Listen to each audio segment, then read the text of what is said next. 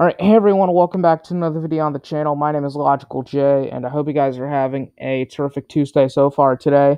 Today I'm here with a very good friend of mine named Tom the Hedgehog, and today we decided to collab on Game Sonic versus Sailor Moon, the honest truth on who would win. So let's just get into this shit. Have anything to say before we start the video? Hi. Alright, so I'm just gonna scroll down to your Sonic scaling, and you just you're the Sonic scaler. Here. I bet. Okay, so um, NiGHTS has been shown to be imaginary world. NiGHTS is stated by Yuji Naka himself to be a Jungian archetype. Jungian archetypes are beyond all mathematics. Well, we're gonna get into that later. First, um, Void Void's darkness was going to destroy the precious stones, which hold up imaginary world. And now we're going to get into what Jungian archetypes are. Jungian archetypes are beyond all all categories of space-time, numbers, and dimensions, meaning that they are beyond all mathematics. Inaccessible cardinals are indeed a type of mathematic, and they are stated on the Verse Battles wiki tiering system to be high outer versal and since Sonic naturally transcends them, he should be really high into the high outer versal tier, if not into boundless. Sonic managed to defeat Infinite in Sonic Forces, while he can scale somewhat to him. Infinite is more powerful than anything Sonic has ever faced before. And if and also if y'all don't believe Sonic Shuffle is canon, it is shown in Sonic and the Secret Rings. And if you don't believe that is canon, Sonic even brings up Sonic and the Secret Rings in Sonic Generations. So yeah, this would mean that current Sonic is pretty high in the high outer versal. If not, maybe maybe boundless. Like if you want to wank it a bit. Yeah, can around there. Yeah, obviously, considering in order to transcend forms of mathematics like Jungian archetypes, which are linked, if not transcend, inaccessible cardinals, like Tom said earlier in the scaling, you would have to be ridiculously high into high outer, if not straight up boundless. Yeah, like you would need some ridiculous ass scaling, bro. Yep, and for speed, this should be self explanatory. He's just baseline irrelevant because he needs to be outer versal or higher to qualify for relevant speed. Like once you're outer versal, you automatically gain um, irrelevance. Yep. So let's just move on to Sailor Moon scaling. This is just gonna be a complete wash, isn't it? Yeah, I'm pretty sure it will. Yep. Alright, so AP slash strength, easily galaxy level. She was verbatim stated multiple times to have saved the galaxy. She also got debunked to galaxy level by the character stats and profiles wiki. Now, these scans from the manga said that she saved the galaxy countless and numerous of times. And I've went over these debunks in three of my videos that I pit her up against Goku, Naruto, and Luffy. Again, I'll leave these debunks in the description below. And for speed, she is easily MFTL plus as she can cross intergalactic distances, and her attacks went through several galaxies. Again, the scans are up on screen for that. And for hacks and abilities, again, I'm not going to cover these as I've covered them before in my Naruto versus Sailor Moon video and my Goku versus Sailor Moon video. Again, I'm not going to link them in the description below. Just go check out my channel if you haven't already. Now, for win cons for Sailor Moon, she basically has none, as none of her attacks would work on Sonic, as Sonic is pure of heart, he's a good character, he's the main character, he's the MC. And as I've covered before, none of Sailor Moon's attacks work on beings of good. Her powers only work on beings of evil.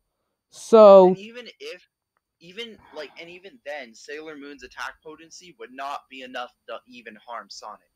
If she tried to punch Sonic, her fist is gonna br- like her hand is gonna break on whatever part of Sonic that she punches.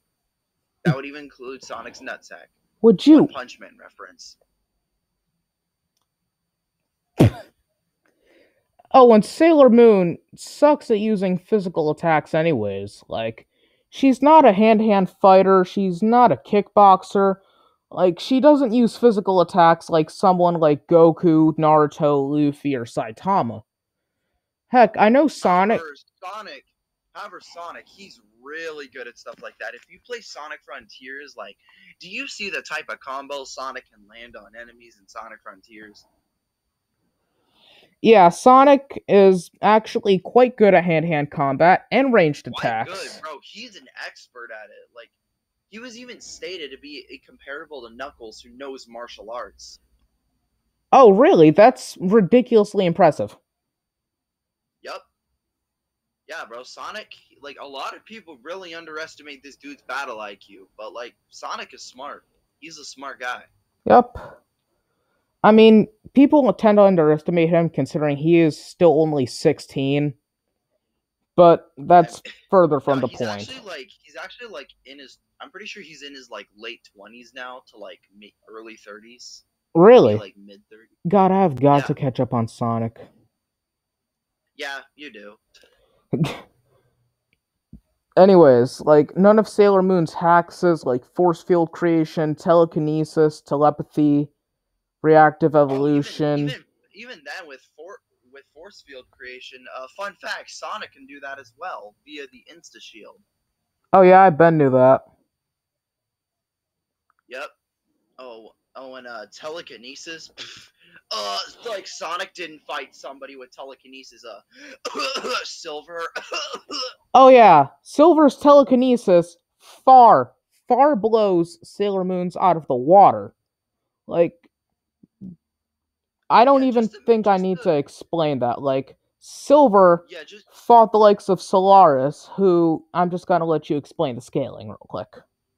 yeah. Solaris was stated to be above the concept of dimensions, meaning that he is above all order of dimensions, including infinite and transcendental dimensions. So this would put Solaris around the ranges from outer to high outer, correct?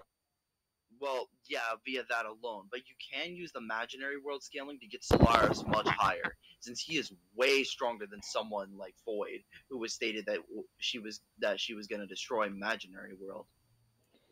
Yeah, and also Solaris, I believe, was stated to be super dimensional, which should put him around like possibly fourth or fifth dimensional with a supreme low ball, mind you.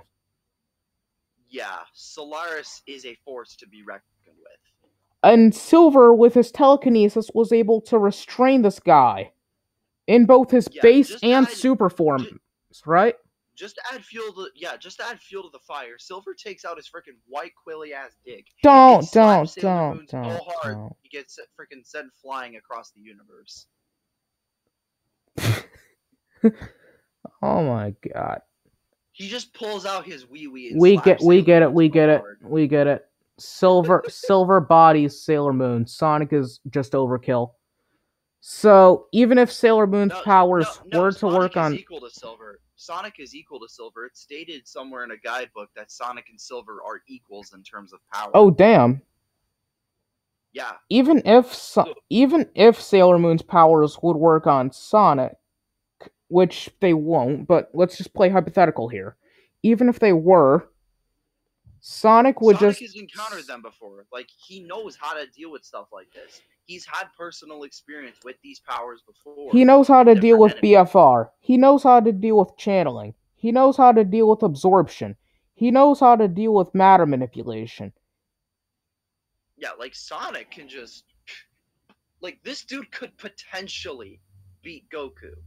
Like this this guy is that strong. He could probably beat Goku. I I mean, personally think he would. consider.